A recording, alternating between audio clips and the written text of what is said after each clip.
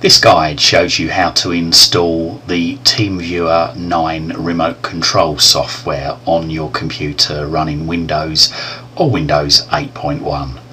First of all we need to be in desktop mode so we move our mouse or tap on the desktop tile on the start menu. This takes us into desktop mode.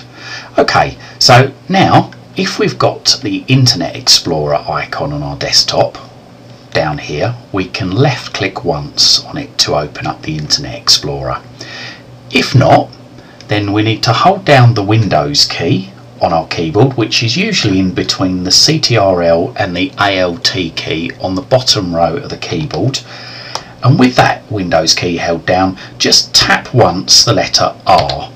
Now release the Windows key delete whatever's in this um, open box here and we need to type iexplore.exe in the box. That's I for India, E for Echo, X for X-ray, P for Papa, L for Lima, O for Oscar, R for Romeo, E for Echo, full stop, E for Echo, X for X-ray, E for Echo.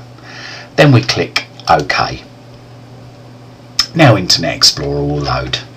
Again, we go to the address bar at the top of the screen, click once just to the right of the end of the address to highlight, and then we type www full stop T for Tango, E for Echo, A for Alpha, M for Mother, V for Victor, I for India, E for Echo, W for Whiskey, E for Echo, R for Romeo, full stop, C for Charlie, O for Oscar, M for Mother.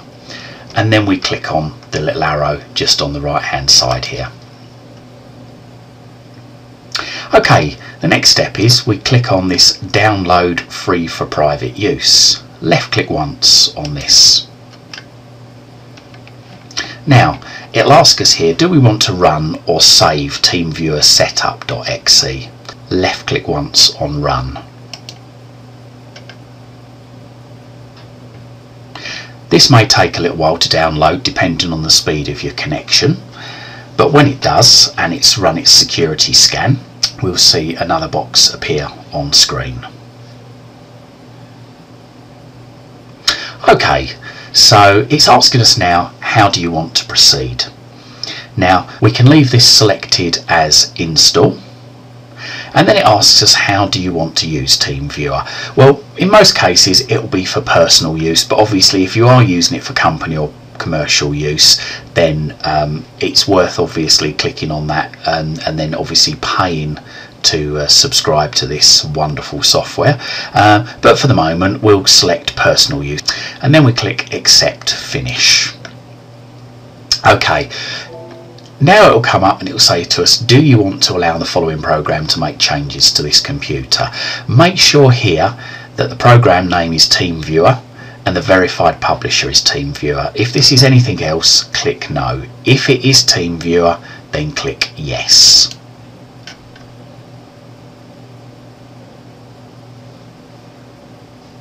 TeamViewer is now being installed on the uh, computer.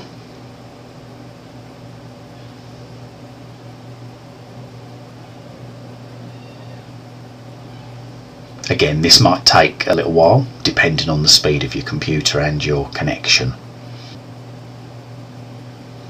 Okay, a box here comes up with a, a bit of a guide on TeamViewer so uh, we can click close on this once we've uh, read and understood what's on the screen.